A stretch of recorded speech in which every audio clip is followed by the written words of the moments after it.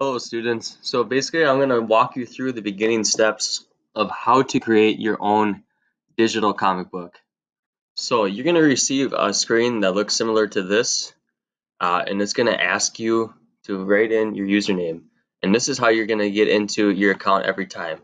So I'm going to write mine in right now. Eric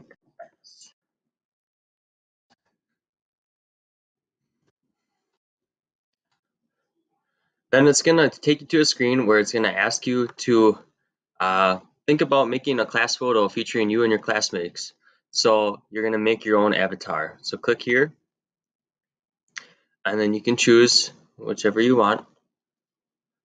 And then you just go and follow the process. So it's going to ask you several questions, and you just go through. So I'm going to choose brown hair to match mine a hairstyle, the eye shape,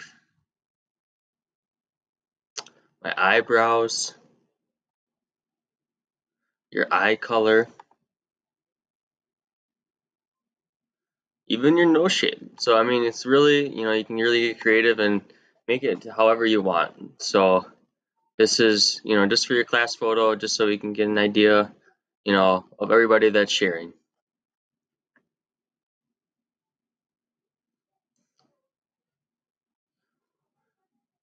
You can choose whether or not you want a hat, uh, your expression, so I'm going to have myself smiling. You can even go through and like look at your outfits. So I think I'm going to have a suit on, a little tie and uh, shirt on.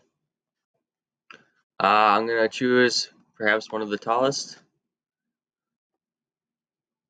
And you can even do what kind of pose you'd like. So I might do I might do the wave.